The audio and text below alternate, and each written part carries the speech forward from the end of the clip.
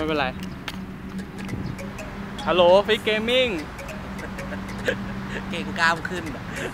เออ โอเค ฮัลโหลฟิกเกมมิ่ง EP หนึ่งทีหนึ่งอ่า วันนี้เราจะมาล่าสมบัตินะถามว่าล่าสมบัติทำไมเรามาล่าสมบัตินะครับ เราจะมาแนะนำแอปพลิเคชัน geocaching นะฮะ ซึ่ง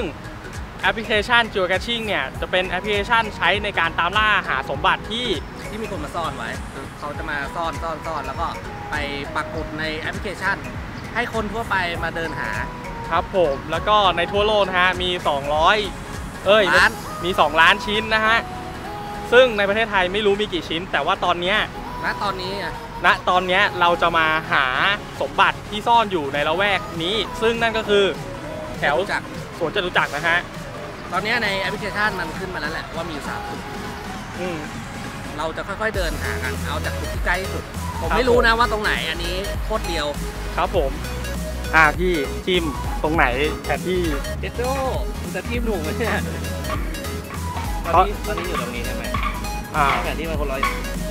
คนละมุมกันเลยอยู่นี่อ่านี่ตอนนี้เราอยู่ตรงนี้ตอนนี้อยู่ตรงนี้ เออ แล้วเราจะเดินไปตรงนี้ไกลไปปะตรงนี้นี่น่าจะตรงนี้นะ โอเค อยู่นะใช่ไหมวาร์ปปะแล้วต้องเดินไปทางไหน โอเค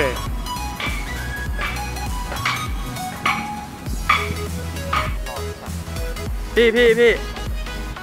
ในสวนจตุจักรมันมีตรงนี้ด้วยเหรอแล้วมาใหม่ปะหรือเราไม่รู้อะน่าจะเราไม่รู้ว่าแบบไม่เคยเดินมา เหรอ ระดับความยาก 1.5ใช้ XS อะหนึ่งจุดห้า ใช่ ก็นะฮะ ใน ในแอปพลิเคชันนี้มันมีบอกขนาดของสิ่งของที่ซ่อนด้วยใช่ไหมใช่มีขนาดอ่าความยากของการเจออ้าวมันเป็นความยากของการเจอ ความยากของการเจอเท่าไหร่อันเนี้ย1.5สำหรับเราอาจจะยากขี้เกียก็ได้มาดูดิเอ้ยพี่รู้สึกว่าตอนนี้เราจะใกล้แล้วนะ เพราะว่าที่จำได้คือ ถ้าเกิดเข้าแอปอะมันจะมีอะไรนะ กดรูปโชว์ป่ะ กดกดให้มันเสนอรูปอะเดี๋ยวมันอยู่ตรงนี้ ไหนไหนไหนไหนไหนตรงหอยเหรอ ใช่ปะล่ะ มันมีต้องสองหอยมีตรงหอยนะฮะ นี่นะครับตรงหอยนี้นะฮะ ซึ่งในรูปมัน ซึ่งในรูปมันขึ้นโชว์อยู่นะครับ เดี๋ยวจะเอาอุ้ย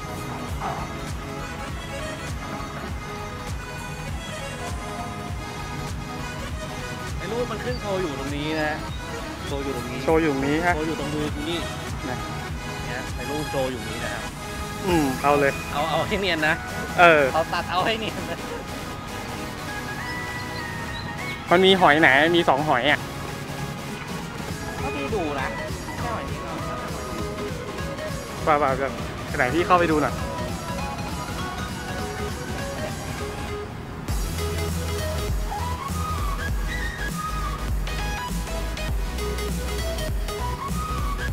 และแล้วเราก็มาถึง geocaching อันแรกของ EP นี้และของ channel นี้ และของอันแรกของในชีวิตนี้ ผมไม่ซูมไปดูอะเลยไข่เปล่าอะ อยู่ข้างในเหรอรู้อะเขา บอกว่า เราต้องเราต้องแปลป่ะ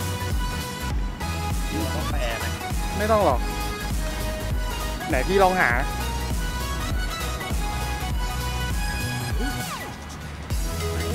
เจอปะอยู่อยู่ข้างในปะไม่ใช่มีคนเอาไปแล้วเหรอ เฮ้ย อุ้ยเป็นเบาๆเฉยพี่ลองยกหินนี้ให้หน่อย ในหินนี้เปล่าใช่ใช่นี่ในหินปะ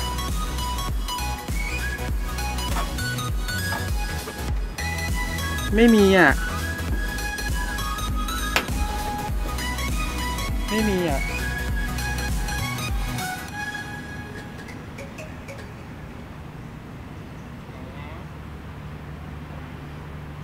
อยู่ไหนแวะ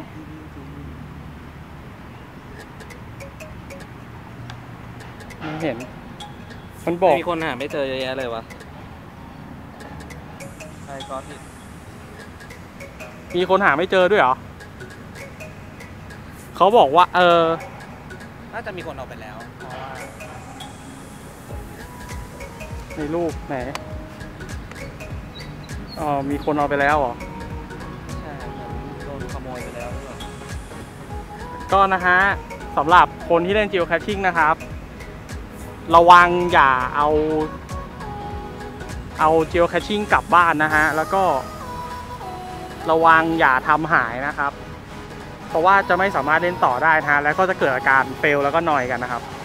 พี่ลองไปดูนู้นดิแต่เขาบอกว่าอยู่หลังหินนะ ซึ่งเราพลิกหินดูแล้ว ไม่มี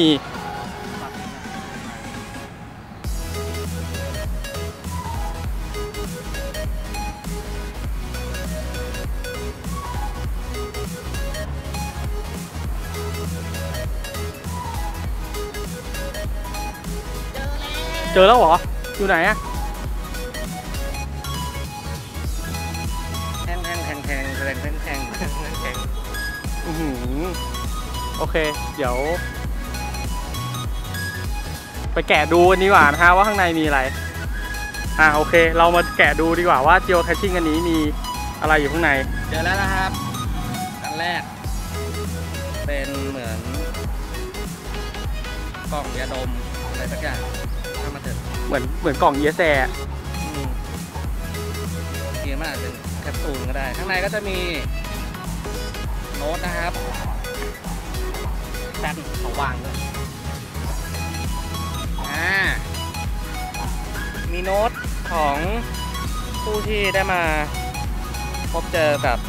สมบัติอันนี้แล้วนะฮะไหนเขาก็จะเขียนทั้งชื่อวันเวลา ที่มาพบนะครับ คนล่าสุด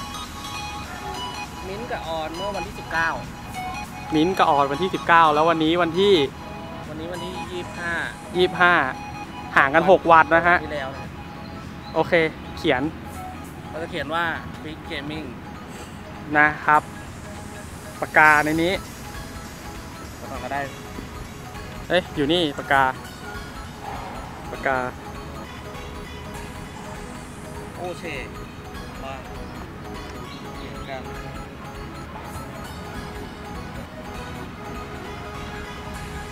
กันนะฮะ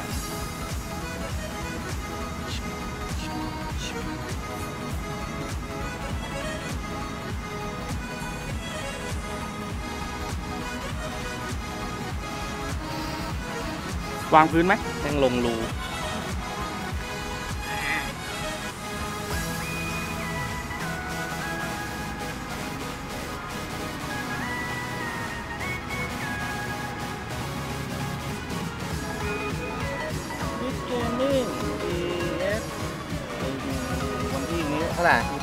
ห้ายี่ห้ายี่ห้าปีแล้ววะสิบหกอืมสองศูนย์หนึ่งหก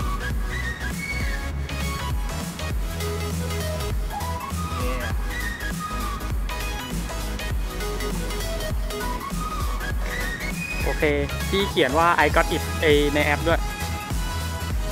รู้ปะนะฮะถ่ายรูปเย่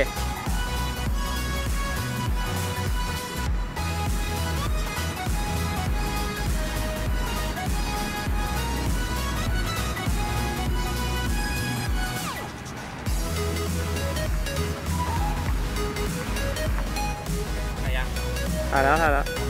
โอเคหลังจากที่เราหาเอาสมบัติของโยแล้วนะครับเราก็ต้องม้วนคืนให้เขาเลยอย่าเอากลับบ้านนะครับ เพราะว่าคนที่มาเล่นที่หลังเขาจะหาไม่เจอนะ แล้วก็ควรจะกลับไปซ่อนที่เดิมที่เราเจอมาเออพี่แล้วถามหน่อยว่าไอ้เจลแคชชิ่งที่เราจะเจอตะกี้มันใช่ที่เดิมของมันปะวะก็ใช่นะมันก็อยู่หลังหินนะแล้วข้างล่างมีหินอยู่ อ๋อ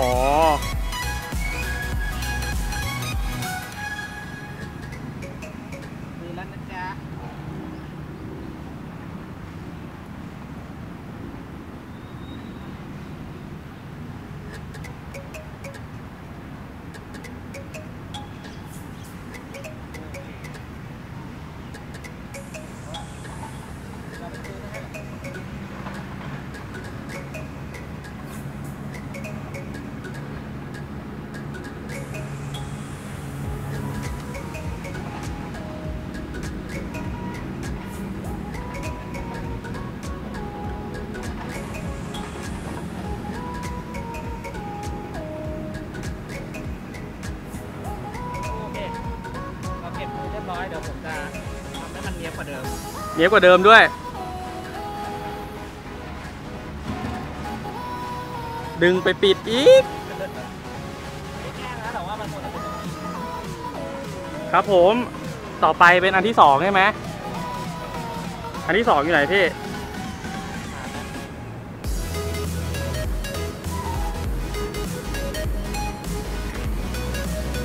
อันที่สองนะครับ ไม่เห็นเลย เฮ้ยเฮ้ยเฮ้ยเฮ้ยอันนี้เลนส์นี้มองเห็น อันที่สองอยู่ที่อ่านให้หน่อยน่าจะเป็นส่วนรถไฟอะหอจดหมายเหตุเออหอหอจดหมายเหตุนะฮะ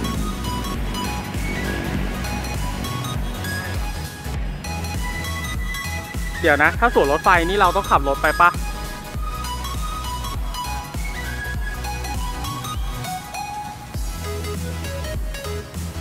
โอเคนะฮะเดี๋ยวเราไปหาที่สองกันเลยดีกว่าครับผมพี่อีกไกลไหมว่านี่เดินมาร่วม 20 นาทีแล้วเนี่ยนี่เดินอีกหน่อยนะปั่นจักรยานเป็นร้อยโลยังปั่นได้เลยใช่นี่นะฮะ ตรงนี้ก็คือสวนที่เรามาหา geocaching อันแรก และนั่นก็คือ เดี๋ยว เดี๋ยว ชี้ ชี้ไปไหน ไปนู่น ได้เดี๋ยวโดด เราโดดข้ามคลองมาก็ถึงแล้ว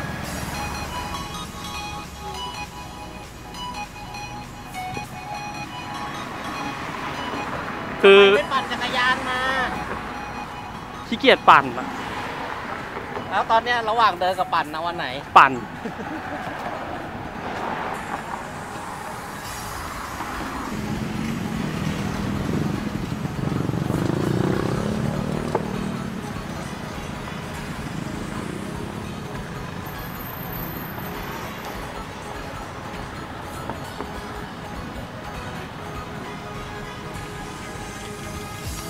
เย่ถึงแล้วเย่สวน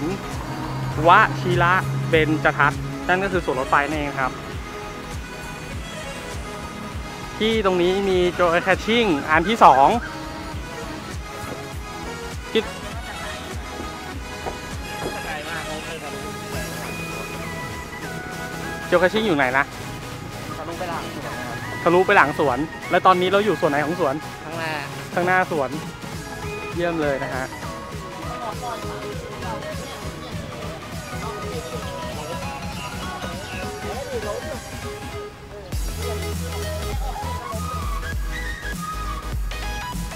เอาจริงๆนะไม่เคยมาเข้าประตูตรงนี้เลยนะ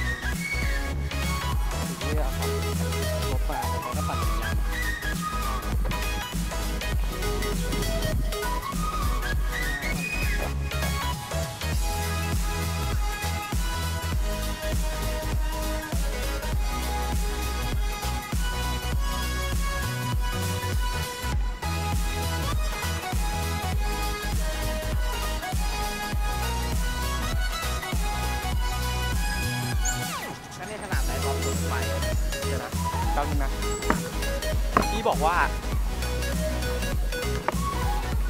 ขออีกทีให้เดาอะนะ มันอยู่ทางเข้าฝั่งนู้นทางเข้าฝั่งนู้นนั่นหมายความว่าทางเข้าปกติที่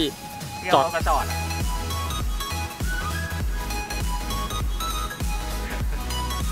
เดินย้อนกลับไปประมาณสองโล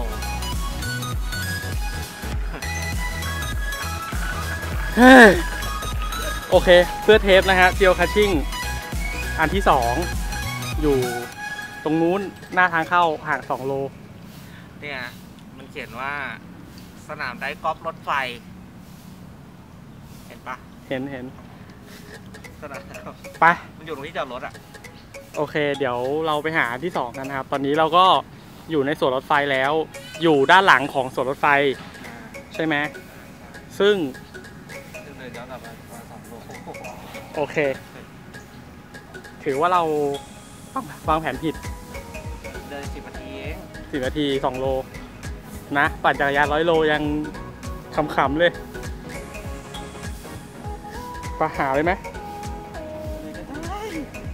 ไปไปไปไป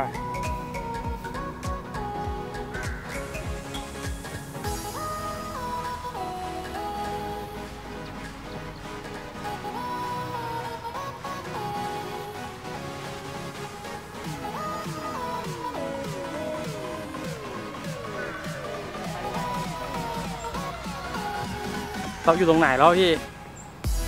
เราก็อยู่ทางแยกของรถไฟครับกำลังจะเดินไปทางบรรยากาศบรรยากาศร่มรื่นมากเหนือแตกคือจริงๆอะเราควรจะมานั่งชิวๆกินธรรมชาติอะไรอย่างนี้ปะก็นี่ไง เราก็มากินธรรมชาติไง ธรรมชาติที่เป็นแบบว่าแสงแดดธรรมชาติอะเออสวย อะ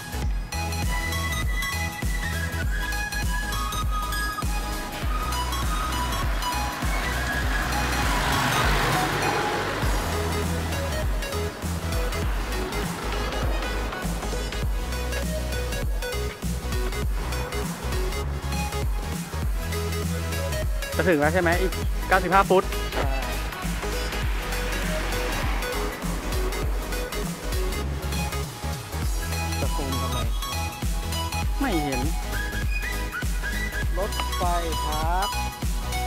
นี่ไงรถไฟรถไฟเป็นโบกี้เลย อ่าโอเคครับ ตอนนี้เราเจอปัญหาใช่ไหมเราหาไม่เจออีกแล้วเราหาไม่เจออีกแล้วนะฮะ เพราะว่า เออในนั้นมันบอกว่าอะไรครับพี่อืมบอกว่า under bottom set magnetic อันเดอร์น่าจะเป็นปุ่มอยู่ใต้ปุ่มเป็นแม่เหล็ก ครับผม ซึ่งในแอปอะบอกว่าตอนนี้เราอยู่ใกล้ Geocache แล้ว ซึ่งผมสงสัยว่าไอ้ใกล้ปุ่มใกล้ Geocache เนี่ย คือ Geocache ซ่อนอยู่ในรถไฟนี้หรือเปล่า มีรูปบอกไหม ไม่มีด้วยที่บอกกำลังพยายามหารูปอยู่มีมีมีมีคนอื่นเขียนคำใบ้ไว้ไหม อันนี้เปล่า อันนี้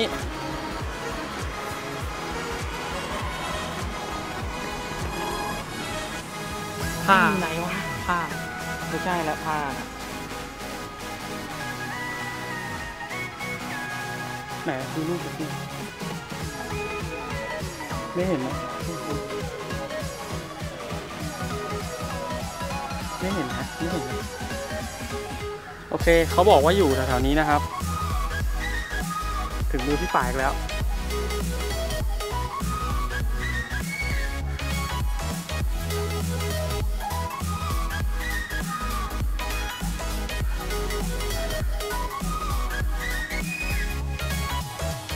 นะพี่บ่าย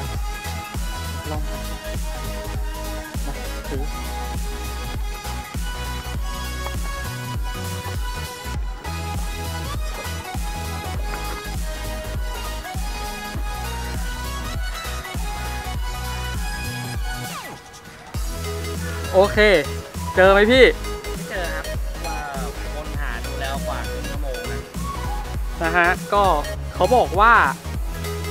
เขาบอกเป็นแมกเนติกถ้ามันเป็นแม่เหล็กแต่ตอนนี้เราหาแล้วทั่วรถไม่เจไม่อไม่เจอนะฮะซึ่งบางคนบอกว่าสองสามวันที่แล้วมาหาบอกเจอแต่ก่อนหน้านั้นบอกไม่เจอ ซึ่งไปดูรูปเก่าๆเขาบอกว่าเป็นฝาสีทอง บางคนบอกว่าเป็น ซิปล็อกอยู่ในกล่องอะไรเงี้ย ซึ่ง ผมว่าความยากของอันนี้ไม่ได้อยู่ที่ 1.5 อีกต่อไป แล้วมันเป็นน้ำขังยังไงเราก็เลยใช่ครับไม่ได้เนี่ยครับ น้ำขังนะฮะ ครับไม่สามารถหาดูได้นะฮะ ก็สรุปว่า ไม่เจอ เจอหนึ่งไม่เจอหนึ่ง เจอหนึ่งไม่เจอหนึ่งนะครับ แต่เขาแต่ในแผนที่บอกว่ามันอยู่ตรงเนี้ยนี่แหละ ใช่ โอเค สรุปนะฮะ เดี๋ยวแล้วก็วันนี้ geocaching EP หนึ่งจบแล้วเนาะตอนนี้อยู่ในรถนะครับ ซึ่งเรามาสรุปกันดีกว่าว่าวันนี้เราได้อะไรมั่งนะฮะเอ่อ geocaching สองที่ใช่ไหมใช่สองที่เจอหนึ่งไม่เจอหนึ่งที่ที่เจอก็คือ